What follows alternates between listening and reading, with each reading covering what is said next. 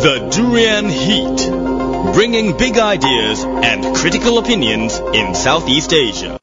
Welcome back to Durian ASEAN, the voice of discovery and sharing. You are at the Durian Heat with Grace. And this is Arlene. So good morning to you. So uh, with uh, in the conjunction of the KLEFF, which will be kicking very very soon. Oh, uh, yeah. yeah, October 16 to 18 at Publica. The Kuala Lumpur Eco Film Festival. I'm looking forward to it. Exactly, and this year it hits the eighth year, and it's amazing how this festival has come uh, up till today, and that they are getting bigger and bigger, and of course having a lot more activities, right? And also musical performance. That's Yes. the part that I think a lot of young people will be looking forward. Yeah, so this morning we both, uh, me and Ali, we are very excited Mm-hmm. uh, to be able to speak to this beautiful people here in our studio. and one, his name is Jes Ibrahim. He's a singer-songwriter. Uh, he's also uh, very um, active when it comes to environmental issues. And on the other hand, we also have Alena Murang. She's a very beautiful lady and she's very talented and she's an artist in Malaysia. So let's say good morning to them. Hello. Good morning. Hello, morning. How are you guys? I'm good. How are you? Thank you. Yeah, we are okay. right. So um, let's start our interview. But um, shall we start with Jes first? Uh, um, we have invited you before, but can you just briefly introduce yourself again to our listeners? Right. Uh, hi, my name is uh, Jes Ibrahim. Hi, I'm- Jes. Hi.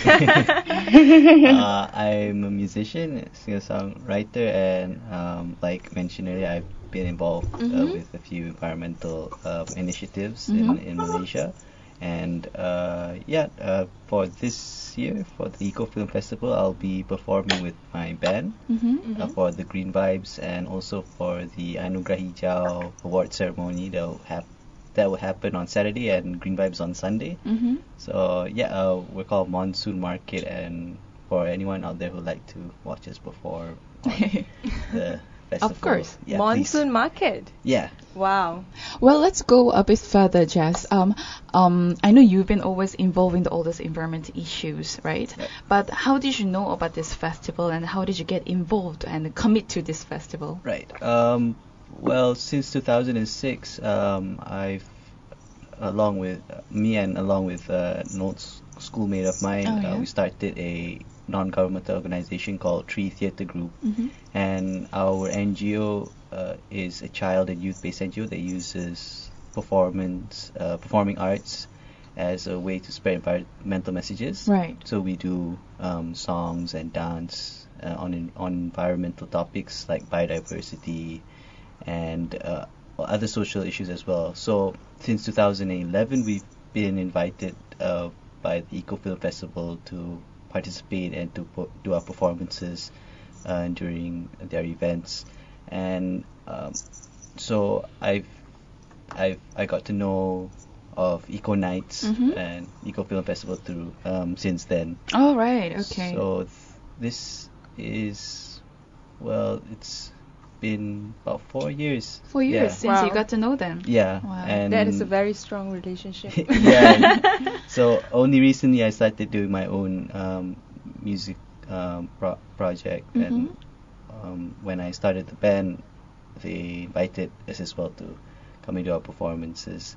So um, yeah, it's, uh, I've been involved ever since Mm. 2011 with my NGO, Mm. and yeah, I'm, I'm just uh, really honored that they kept on uh, in, inviting and Of course, they have to Yeah. invite you.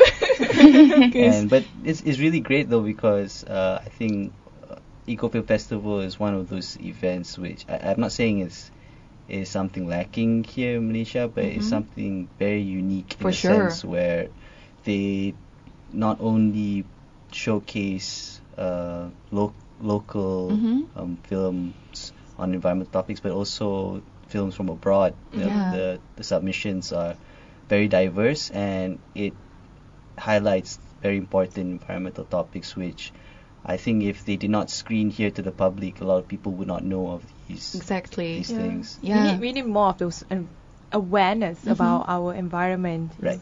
I totally with, uh, agree with Arlene and Jes here uh, uh, about the awareness, especially when it comes to environmental issue. Only recently we got to know all this haze and also uh, recycling and dividing all these trashes. yeah, Right. yeah.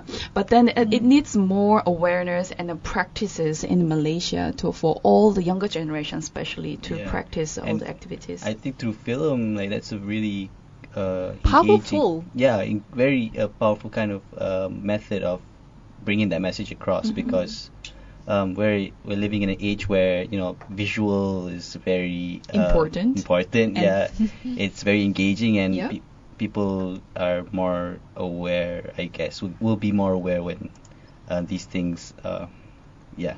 when- For sure, yeah, and that's really wonderful. And then the journey you have taken so far, I think it's really amazing. And That's then, yeah, not That's amazing. Mhm, Not only you're doing music, but you're also very uh, heavily involved in all those environmental activities, and that's another wonderful part that I can, you know, um, tell my uh, friends very proudly. Say, hey, I have a friend, and he's a Malaysian, and he's really, really good at the things. right. How about Alena? Could you introduce yourself and then what you do, and then how did you get involved in the club this year? Sure. So I'm um, I'm a visual artist and also a musician, Mhm. but mostly focused on art that is inspired by Borneo. So I grew up in Sarawak in Borneo, Mm-hmm. and it's a very, very kind of you know green environment. Um, used to go to the sea every weekend or to a waterfall or go hiking or something. Wow. And then, so obviously, like now, a lot of that kind of impacts my work. So a lot of my visual language or the music that I play. Um, so how I got involved in KLEFF was, um, so I just moved back to KL probably about December. Mm-hmm. Um, and so it's still like quite new in KL. I'd never been to KL EFF before. And I got a call from Yasmin saying that, um, you know, she wanted to meet up for coffee. So I was like, okay. so I went along and I met up with her and she said, um, she kind of explained to me what KL EFF was and how it, had progressed over the years. And she said, and, um, you know, we'd really like it to invite you to be our ambassador for this. And I said, yeah, of course. Wow. And she, and she goes, oh, that was easy. she thought she, she would have to like, I don't know, maybe coerce me a bit more. But no, I think it's a really, really great initiative because not only for like the films that they have, but you know, they, they have like the artwork and the stalls and the talks and the workshops and the music as well. It's like a whole community market, Yeah. just meant for you know awareness on sustainability as well as the environment. I think that's great. Yeah, a lot of things to Yeah. look forward to. So uh, for those listening, please do come. Yes, of course. visual festival. But Yeah. Alena, Mhm. um, could you tell why you're so passionate about the environment and how do you relate those environment to your paintings and in music? Yeah, I mean, the environment is the the natural environment. It's just so beautiful to be around, and it's so. I think it's something. I mean, it's natural, right? So when I'm there, and I think for a lot of people, when you're in the natural environment, there's some. It it just calms you down sometimes, and um, it's just a really, really beautiful place, and it, it holds so much knowledge. So even the people who live there in the villages, and trees, and the birds, and you know the stars. There's so much you can tell from them. You know, some things obviously like I don't know, but I think there's so much more to learn. Right. Well, if I'm not mistaken, you've been to your uh, hometown several times to do some fundraising projects as well, right? Yeah, so uh, my village is called Longpuluan, and it's right. It's it's close to the Sarawak Kalimantan border, so it's part of Miri. Um, and earlier this year there was a flood there, and it. it it never floods there, not in my lifetime anyway. So all of the four bridges were washed away by the flood. Um, so I just did some fundraising by selling my artwork uh, to build to build a bridge back for them. So the bridge kind of connects the village to the f- rest of their farms. So is it all completed or is it still ongoing? Yeah, it's completed. So, Oh, nice. so it was only enough funds for one of the four bridges, and the Mm-hmm. other, the other three bridges were supposed to be built by um, some private companies and stuff, but that hasn't been done yet. Mm, well, that's fantastic. How uh, let's uh, go back to Jes here. How about you, Jes? Uh, you've briefly mentioned about your theater project and also the music as well as the, your activities that involve in the environmental issues. Could you elaborate more on that? And how did you start? And what what are the areas that concerns you the most? Um, well, ever since my primary school days, our school has, um, with um, I think the PIBG and the Teacher Association, they've uh, organized a few recycling projects, Mm. which coincided with the yearly animal conservation initiative. So what what happened was that for each year, the school would select an endangered animal, Mm. and we would raise funds through recycling um, newspaper collection as as a way to help uh, various NGOs involved in, Mm. um, for example, in turtle conservation, in elephant conservation. So from there, um, I got my exposure, I guess, to these kind of issues, but it's more to wildlife uh, Right. conservation. Mhm. Um, however, when I was nine, um, I was invited by a friend to attend camp by Yayasan Anak Warisan Alam or Mhm. Yawa, and they're a child-based NGO. And from there, I learned more about uh, uh, further about environmental topics such as climate change, Mm. recycling, um, and uh, uh, uh, various issues. It was through Anak Warisan Alam I was able to um, participate with them in various international conferences organized Mhm. by the United Nations Environment Program called the Tunza uh, program, which is a program for children where they organize biannual conferences. So every two years they will Oh, have an international conference and they'll gather NGOs from all over the world. And then there I was, I, I I kind of like expanded more, like so Mm-hmm. it kept on progressing on my exposure to environmental topics, and I and I found out that it just inspired me because I got to know that not only myself, kids around here who doesn't you know happen to do environmental activities, but around the world, like kids are really trying hard to get their message across on various things. There's uh, there's on desertification. Um, there's things on um, food waste and management. There's Mm. things on uh, f- energy Mhm. consumption and and so eventually when um, as I participated in the youth program with uh, for Tunza and the United Nations Environment program, I um, also got involved and eventually I was nominated to be a representative for Asia and Pacific Mm. for their Youth Advisory Council. Oh, that's amazing. Yeah, and about last year, um, they uh, we had the first uh, United Nations Environmental Assembly.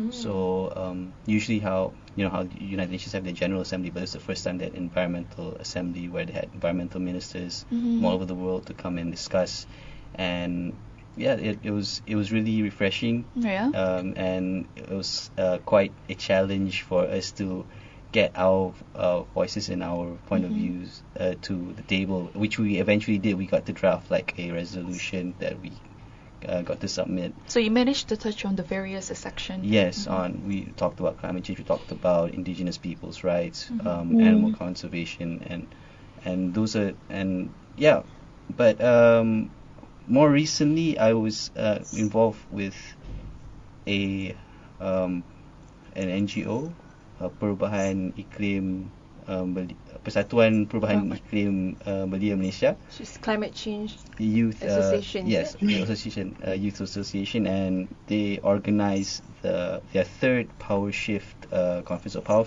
power shift uh, malaysia Mm-hmm. um, power shift basically started in istanbul in 2013 2012 like that around the times i'm sorry I, if i mistaken the date uh, but um, basically it's a platform for young people who wants to be uh, involved in campaigning or activism, environmental activism, speci- um, more specifically to climate change. Mhm. But it's where they gather uh, different people who can provide skills on how to um, go about that campaign, uh, what they can do, um, the tools they can they can use. So recently, about last month, we they had the third power shift, and yeah, So the young people in Malaysia are quite active. yes. I mean, to say that the Mm. level of awareness is maybe it's not as widespread, but the young people that are, you know, conscious on environment environmental issues, they seem to be very active, Right. yeah. participating in either local or regional, even international In, events. in fact, under the uh, same um, NGO Perubahan, uh, Persatuan Mm. Perubahan Iklim Belia Malaysia, they uh, have selected 20 young Malaysians who would represent uh, Malaysia um, in the COP21 conference in Paris. So from later this Wow. different different states, is it? Yes, in from Malaysia? different states in Amazing. Malaysia. So yeah, it, um, actually young people are quite active here in, in, in Malaysia. And the COP21 uh, conference is one of those um, turning points since Kyoto Protocol. yes, Yeah, that yes. Mm. hopefully something would be coming out of it. Hopefully, hopefully. Mm, how about you, Alena? What is your perspectives when it comes to young Malaysians today? Do you think they are much aware of the environment issues nowadays, or um, they, we need a sort of a proper or better educational system in Malaysia? I think um, there's definitely there's there are definitely a lot of young people who are active in kind of envir- environmentalism, but I think there are a lot more that are not. Yeah, and I think it's just kind of like in in the circle that I'm in, there are a lot of you know young people doing it. Um, but there's basically there's a I- there's a greater need for more, you know.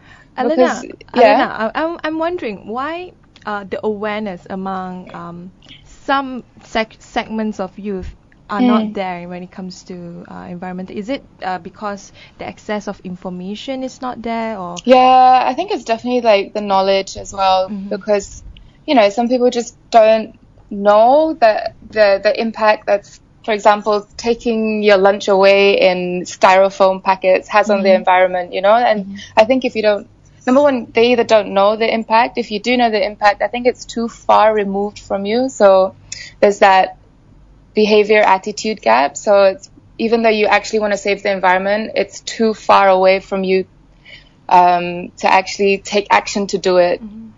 Yeah, so I really think it's to do with education, educating, educating adults as well, um, so Of that course. they can support their children and you know and and build a way of life that's more environmentally friendly. and also maybe building new habits and new culture. I mean, in the past, Exactly. using plastic bags was a norm, right, among Right. Malaysians. But nowadays, it's I think it's a new culture that we bring our own uh, paper bag or our own reusable exactly. bag. And Yeah. some supermarkets have uh, they're charging plastic Yeah. bag Yeah. usages on Saturday on especially, Saturdays, and yeah. it all started from Penang, if I'm not mistaken. Yeah. They Oh, really? initiated this project, and also the waste separation. It just um, recently, yeah, law yeah? is, is something uh, it's very it's kind of a milestone as well. We also just started in Durianas actually. Yeah. Well, Yeah. to be honest, a bit of hassle. But then when you think that um, when you separate all these treasures, you feel it's more organized, Right. and then you know where all you're putting your treasures for. Mhm. So Mm. okay, this one is for the recycling. This is not, you know, a recyclable. So you just separate them. So it's all sort of like educating us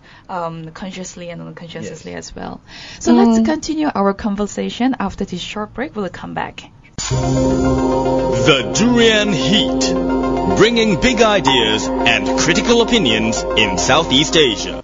Welcome back to Durian ASEAN, the voice of discovery and sharing. And you're at the Durian Heat with Grace. And Arlie, So we've been speaking with Alena, who is an artist in Malaysia, as well as Jes Ibrahim, who's a singer-songwriter.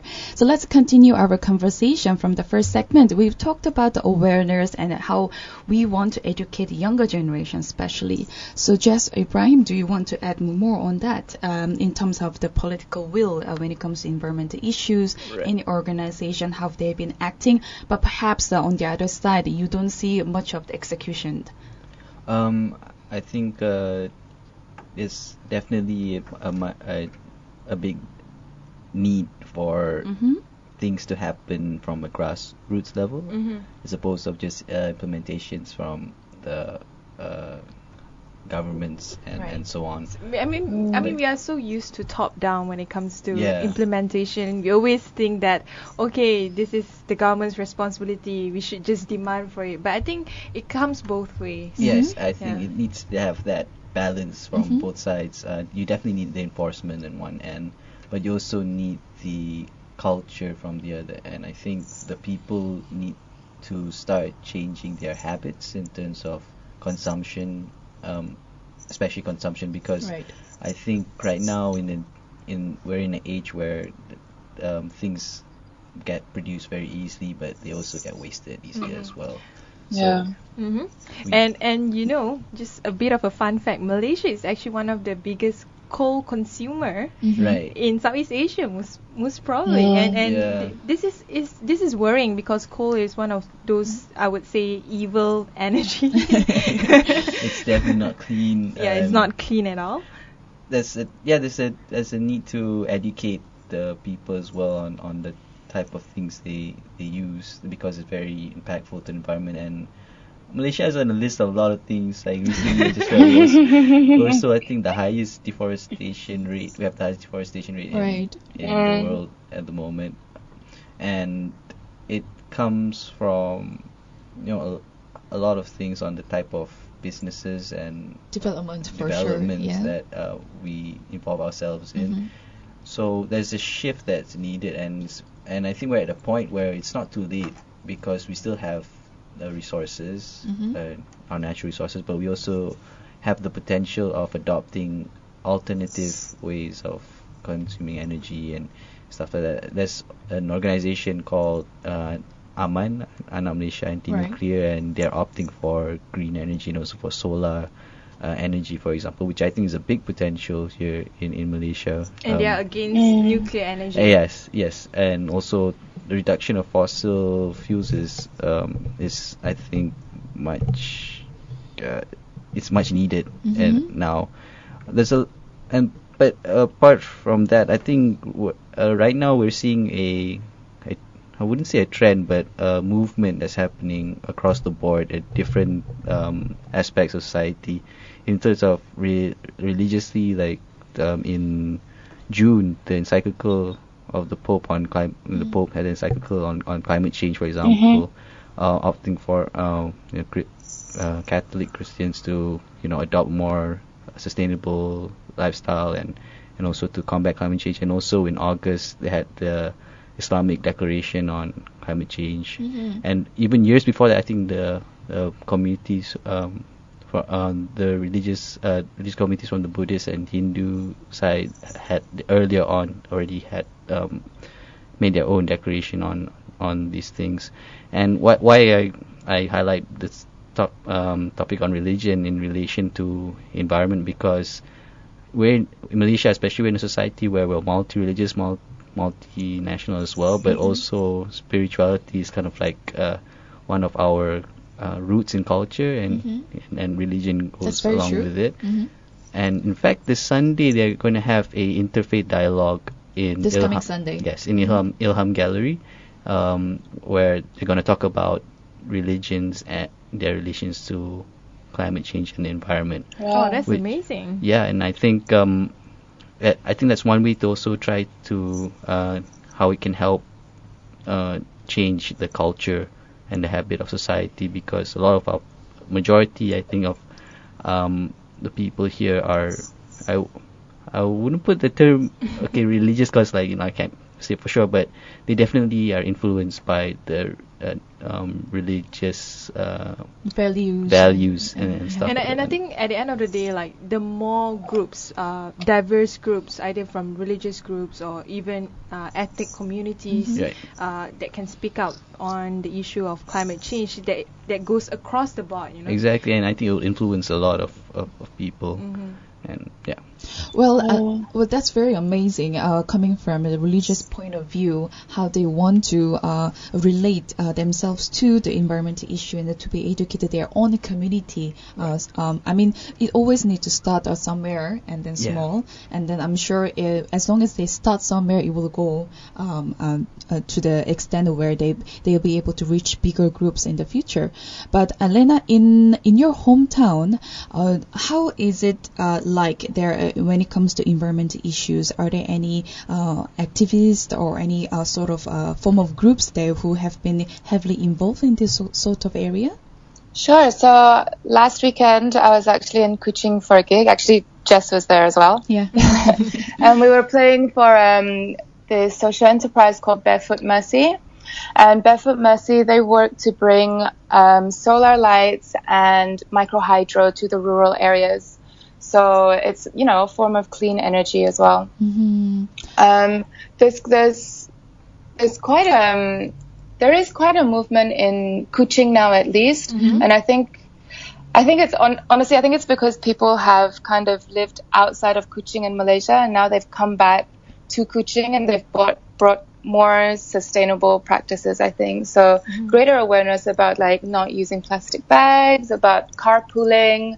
Um, but those like little things that individuals can do, even like switching off your aircon, Mhm. not using a dryer.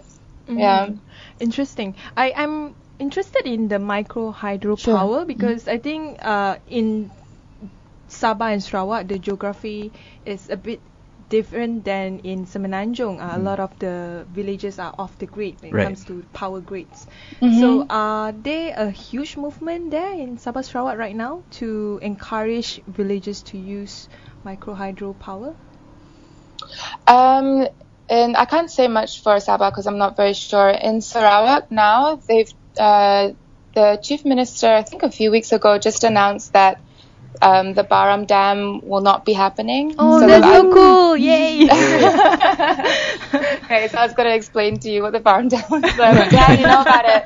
And from what I hear, um, that he's going to try and start encouraging micro hydro more. hmm Yeah, so that you know it's and you talk about geography as well, and it's a lot of it's because the it, it's hard to travel into the interiors, and when you actually want to like build something. So, for example, when we were rebuilding the bridge, quite a lot of the cost came from actually just transporting materials.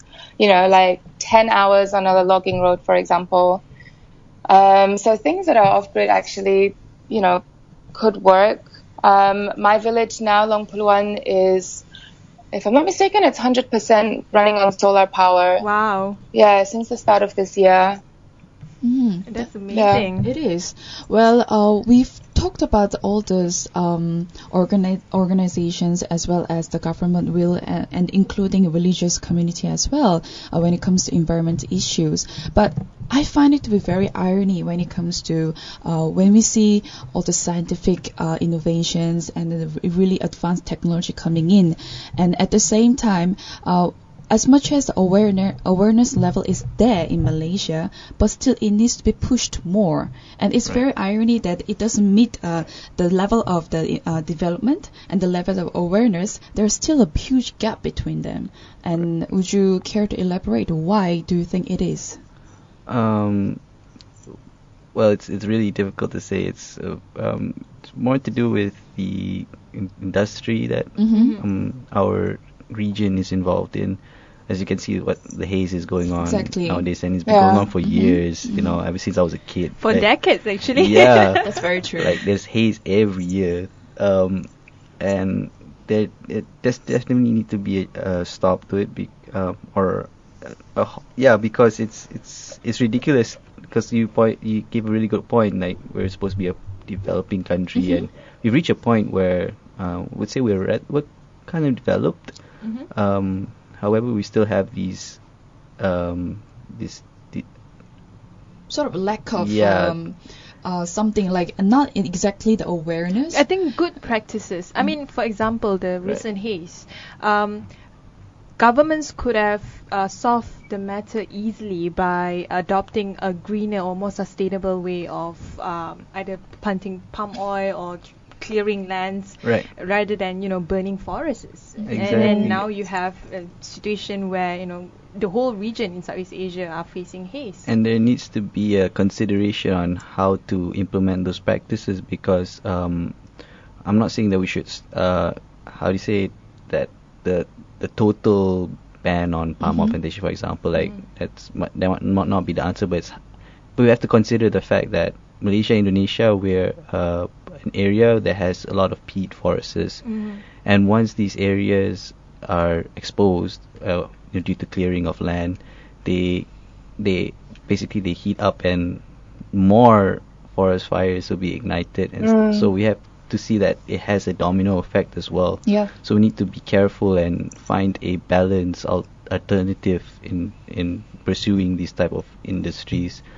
Um, however, like I mentioned before, we we either do that or we could just switch, you know, all altogether. I mean, there's there's these new technologies on more sustainable means of agriculture Mhm. and also energy, and that's definitely something that we should consider adopting. And if I'm not mistaken, all those companies they just go for the easier way to produce more and mass produce their products. So that's why the burning uh, is one of the ways, and it's cheaper. But you and know, it's faster. Companies companies will go to the extent where the law the law allows them to be, or the law. Right. uh, if the law is not being imposed to them, or Right. there's no law at all uh, to regulate these activities, companies will go as far as they can. I think s- Sure. um, just recently Singapore is going to help uh, Indonesia in, in managing Mhm. these forest fires, and um, but yeah, I think the the companies involved need to be more responsible. you That's know, true. And that's something that yeah they, they should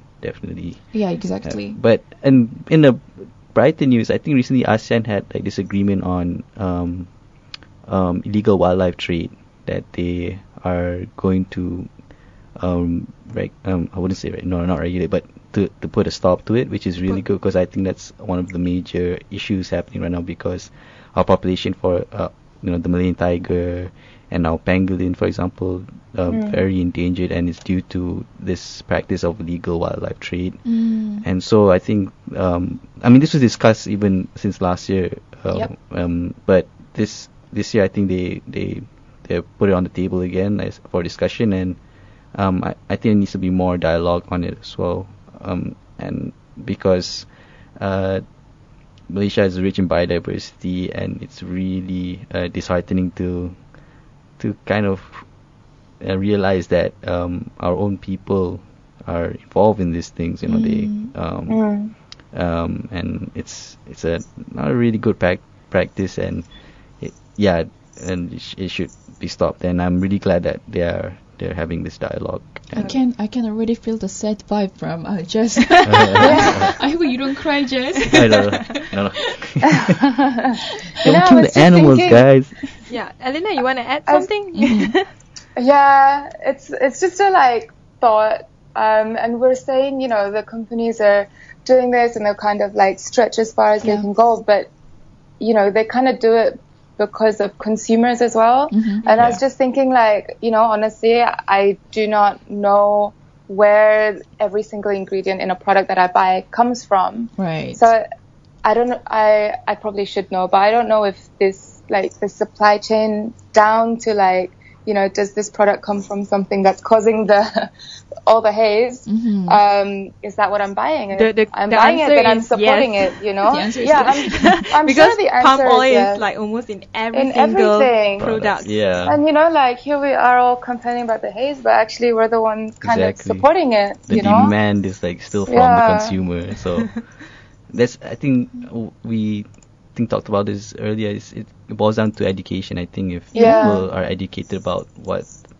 what they are buying, you know Mhm. what they're using, I think they'll be more careful next time. Mhm. But do but just do you know if we have access to that information? As in, can, can we somewhere online or in reports, as in in you know company reports or something? Is Well- it possible to find that supply chain?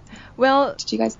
Not really exactly, but uh, Yeah. recently we discovered that WWF Singapore they have Mhm. a website. They call it uh, "We Breathe What We Buy," Mm. and you can Mm. actually find uh, information about products that uh, may contain palm oil. Yep. Right. Yeah, so Mm. it is it's a good way to educate ourselves and to be a more c- conscious, Conscious buyer. consumer. I don't Right. want to be I don't want to sound so pro Singapore, but that's the difference. Like Singapore, the information is just there that people can get it. Right. In Malaysia, as much as we we we some communities are very active, but then getting the receiving the information just right in your in front of your face, it's still not there yet. Yeah, I think it's also Yeah. partly due to the fact that palm oil is a really big industry here. Mm, so for sure.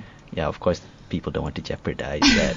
but I mean, that, that's the beauty of the online. Like you can get these information like, like very the- easily, right? Yeah. Well, um, so we've been talking to um, Jes Ibrahim and Alena Adrian Asian, uh, talking all sorts of kinds of environmental issues. But then for the next segment, which will be our last segment, Adrian Heat, will talk more about their personal stuff, uh, which is music, and also how they have been involved in the club. So stay tuned. The Durian Heat. Bringing big ideas and critical opinions in Southeast Asia. Welcome back to Durian ASEAN, the voice of discovery and sharing. You're still with Grace. And Arlene? At Durian Heat, where we discuss issues around Southeast Asia, and we've been speaking uh, to Jes Ibrahim, who's a singer-songwriter, as well as Alena Murang, who's an artist in Malaysia. Hello. Hi again, thank you. so, guys, let's talk about your music. We're very curious here. Um, of course, we did um, invited you guys individually before, but never we have two of you guys at the same time in a house and to talk about your music. And of course, um, you guys will be performing at KLEFF uh, on Yeah. Sunday, 18th of October, right? So let's start with Jes. Okay. Yes. so you have a song which is related to environmental issues as well. And then um, could you uh, elaborate more on that, your music and your tunes? Um, well, I started writing songs on environmental issues Mhm. um, ever since I started an NGO back in 2006 uh, with How uh, old was old that? schoolmate of mine. I was, I was thinking about like 13. Oh my uh, goodness. Oh my goodness. Yeah. and, uh, with along with some of the parents of my previous primary school. I see. Um, so we do performances uh, on environmental issues. So we try to use arts as, as a way of, of spreading those messages. And yeah, I just started writing songs on the deforestation, on climate change, and So um, you sorry, you write songs on environmental issues first before like writing about love or, Or breakup. relationship. Yeah. That's pretty Well- deep. well, it was like uh, Your love towards the environment is deeper than anything else, right? I don't know. Like it, I just it kind of makes sense to write songs about that. I guess at the time. Um, but yeah, um, I was but I was partly influenced by you know like Zainal Abidin and also Bob oh, Marley. he's amazing. Yeah, and Mm. started listening to Bob Marley as well, and a lot of their songs like I don't know they, they gravitated towards more on very social um, based topics.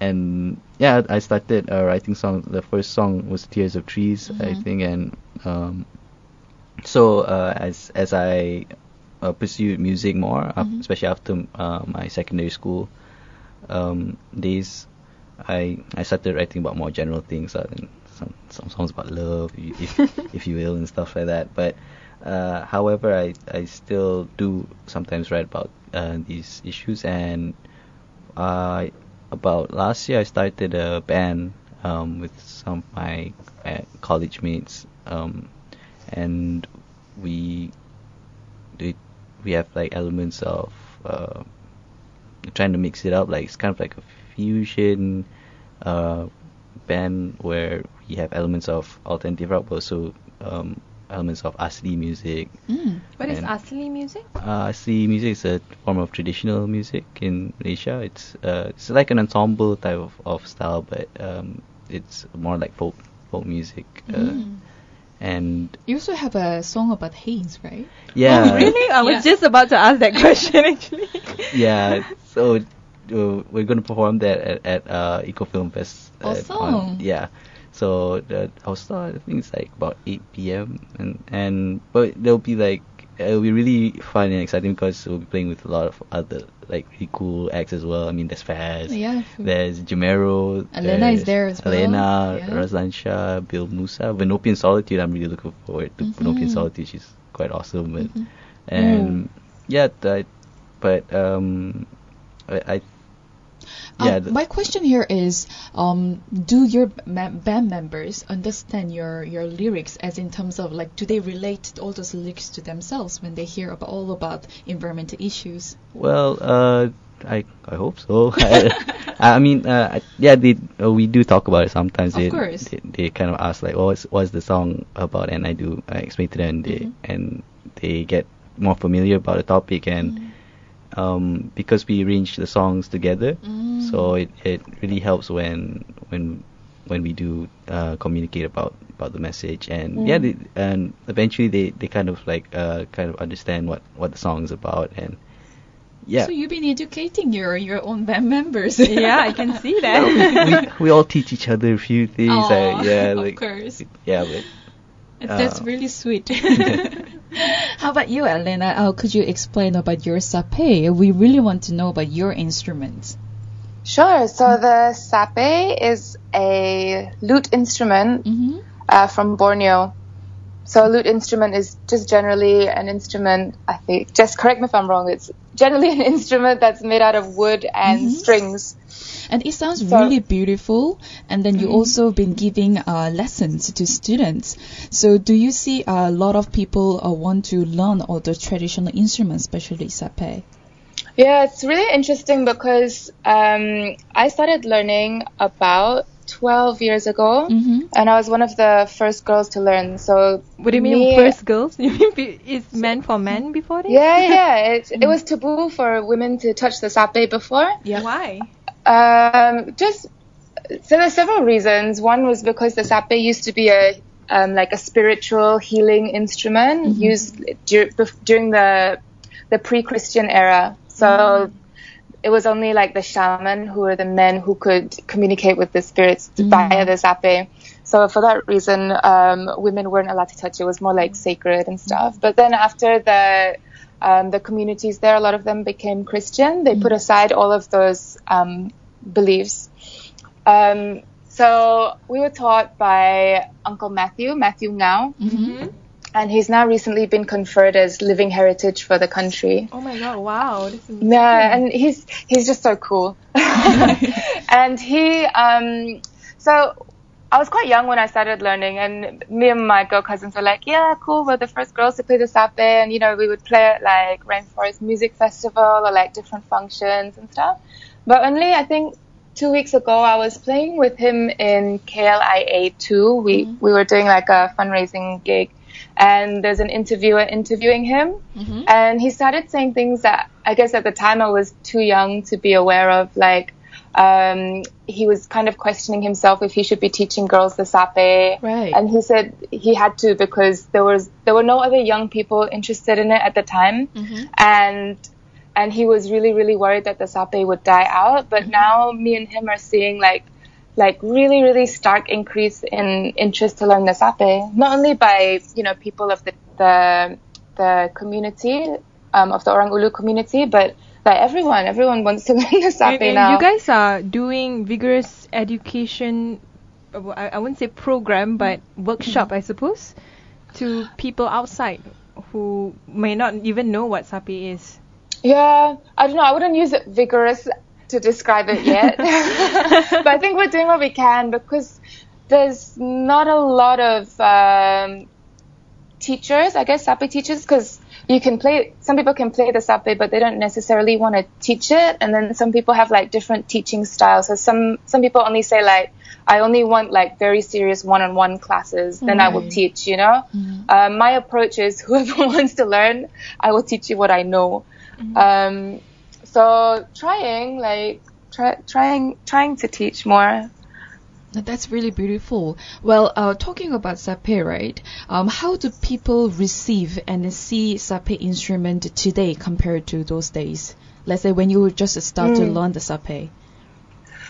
How do people receive it? Mm, nowadays, when you they uh, when they see your your performance playing sape, uh, are they really familiar with the instrument, with the tunes that you singing and playing at the same time, or uh, do they do uh, do people still have the perception, you know, girls should not play sape?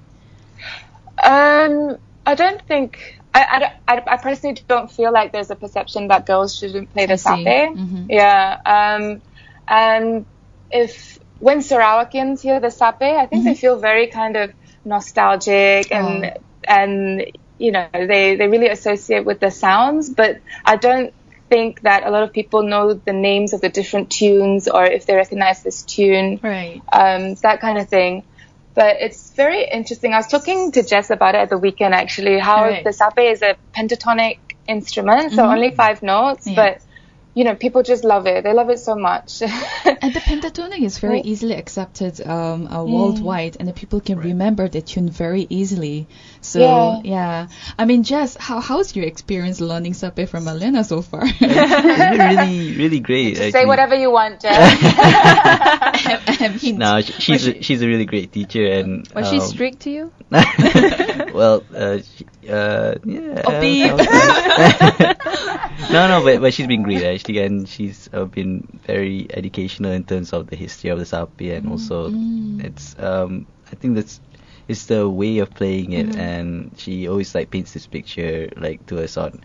Uh, the background of the it's a very uh, riverside type of music I see. and it's um it's really relaxing and and to learn because it's not just as simple as just playing those five notes. There's also like a lot of techniques involved. Yeah. And yes, it's it's really hard sometimes, but she she she gives us a really good lesson on some of the skills and like the flicking and and the yeah styles, which um but Is it really easy because you are a guitar player, you're a guitarist, and the two to play sap, sape, is it easier? Right, I, I think, uh, yeah, definitely. I think if, if you're used to playing string instruments Mhm. before uh, learning the sape, you you, you can uh, kind of adapt it. Mhm. But however, it's it's not as simple as that. Alright. There's it's a very Mm. different uh, way of, of, playing it as as well. Like like I said, there's a lot of different like specific kind of techniques, Mhm. which I think just makes it sound more colorful in Mm. itself. And I think when if you do come by to watch Alena's performance, Yeah. you'll see for yourself the how beautiful it actually sounds. We're actually Tra- looking forward to watching Yeah. the show. Yeah. Traditionally, uh, sape is being played in any specific events. Um, so before, and I, I actually don't know much about the pre-Christian times because Mm-hmm. actually not a lot of people, like not a lot of the elders feel comfortable talking about it. I so I only recently learned that it used to be played in, yeah, in, in, you know, like spiritual rituals for like either healing or if they, if someone could sense that a spirit was in a room, they would play like the song of the spirit in order to communicate with that spirit. And then, um, but apart from that, it was also played for just for entertainment purposes. Like, you know, we sit down and play the guitar, and you know, the sape would just be played, and it's usually accompanied by a dance. So the sape player would play a dance, uh, play a song for entertainment, and then um, a girl would get up and dance. So it's called the hornbill dance, um, and then accompanied by a, a male who does the warrior dance, and it was just for entertainment. Yeah, um, nowadays it's used sometimes it's used in church, sometimes it's still used for Oh. entertainment, sometimes it's used to like uh, at the start of functions or ceremonies. It's it's a very very versatile instrument. Mhm, That's Yeah. beautiful. really Yeah. fantastic. Yeah. Well, um, before we end our shows today, uh, Alena and Jes, could you uh, tell our listeners when and at what time you guys are performing at KLEFF? Uh, KL, uh, well, uh, my band, uh, Mon- Monsoon Market, we're performing at 8 p.m. on Sunday. And that's on Uh, the 18th of October. Yes, at the B Publika. Yeah. How about you, Alena? If I'm not mistaken, if I'm not mistaken, I'm playing between Monsoon Market and Faz, so I think it's 7 p.m. I think it's around 7:20 plus. Thank you, 7:20. and Yeah. then I'm also playing on um, Saturday in the square in Publika. I'm playing at 5:30 to Mhm. 6:30, and then at 1:30 I'm actually gonna join. Um, you guys have to catch this, by the way. I'm gonna join. Uh, Uncle Solomon, who is an amazing sape player from Miri, and we'll be playing to raise awareness for um, scholarships for Orang Ulu children. Awesome. Yeah. Oh wow. So basically, this event, the festival KLEFF, is held from October 16 to 18. But do not miss out their amazing performances, which will be held on 18 of October. But like Alena mentioned, do visit a square at uh, Publika on the 17th as well. So thank you so much, uh, Jes and Alena, for joining us for the interview this Thanks for morning. Thanks for having having us. us. Thank you guys. And all the best, and we'll catch you guys the performance today. Thank you. okay, Thank bye. you. Thank Bye. you.